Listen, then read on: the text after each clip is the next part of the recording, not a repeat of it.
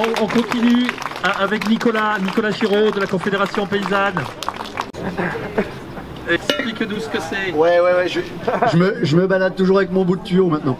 Euh, ouais, c'est un des bouts de tuyau qu'on a démonté euh, avec, euh, avec Julien, avec d'autres, à, à la dernière action qu'on a fait au méga bassine. Donc, donc moi je suis paysan dans le Jura, je suis porte-parole de la Confédération paysanne.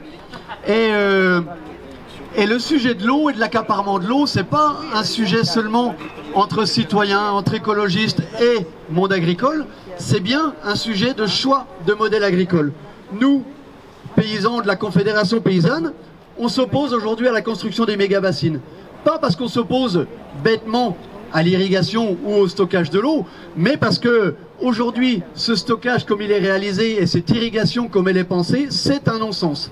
C'est-à-dire qu'on encourage un modèle agricole qui marchande le vivant, qui accapare les ressources, qui accapare les subventions et qui en plus ne répond pas aux défis écologiques, alimentaires et sociétals de notre, de, de- de notre société. Donc à un moment donné, nous, on est là, paysannes et paysans, pour signifier que c'est un non-sens de pomper dans les nappes phréatiques, parce que le symbole de cette pompe-là, c'est bien pour expliquer au ministre et à Christian Lambert qui nous expliquait que on remplit les bassines avec de l'eau de pluie. Non, on remplit pas les bassines avec de l'eau de pluie. Ce pas des réserves collinaires qui s'alimentent naturellement par gravitation. C'est des bassines faites artificiellement, comme l'a super bien expliqué Julien, et qui sont remplies dans les nappes phréatiques avec ce genre de tuyaux, avec des pompes au bout. Donc à un moment donné, il faut arrêter de vouloir expliquer n'importe comment aux uns, et aux, autres comment ça marche. La réalité, c'est celle-là. Et ensuite, la réalité, c'est que ça profite à une minorité d'agriculteurs. Ça ne profite qu'à un seul et unique modèle. Et on en profite pour ne pas surtout repenser le modèle. C'est-à-dire que les méga-bassines, elles sont là pour poser un pansement sur une jambe de bois. La jambe de bois, c'est le modèle agricole qui détruit nos paysages, qui appauvrit les paysans et qui répond pas aux défis alimentaires. L'enjeu pour nous, autour de l'eau, c'est de réinterroger le modèle agricole.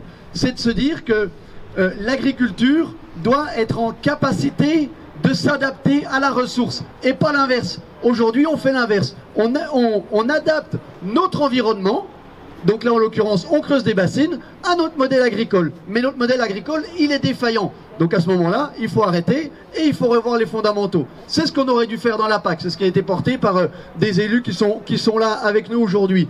C'est ce qui a été fait à, différents moments, mais ce que ce gouvernement n'entend absolument pas. On avait euh, l'ambition d'avoir un, un rendez-vous avec le ministre. On est allé euh, avec cette euh, avec cette euh, bout de pompe il y a quelques jours, quelques semaines devant le ministère. On a été reçu euh, mani militari par par des par des bagnoles de CRS. On s'est fait évacuer. Et on a, j'allais vous dire qu'on n'a pas de rendez-vous avec le ministre. Ça y est, ça a changé depuis une heure. J'ai enfin eu le cabinet du ministre qui nous propose enfin une réunion semaine prochaine pour parler de l'eau, pour parler du modèle agricole. Donc on va retourner là-bas, on va leur réexpliquer quelle est la vision de la Confédération paysanne sur l'eau, quelle est notre vision pour des paysannes et des paysans nombreux, rémunérés et qui répondent aux enjeux sociétaux, notamment les enjeux de maîtrise, de répartition et de préservation de la ressource en eau? Merci à tous, merci pour l'invitation, bon courage et à bientôt. Merci.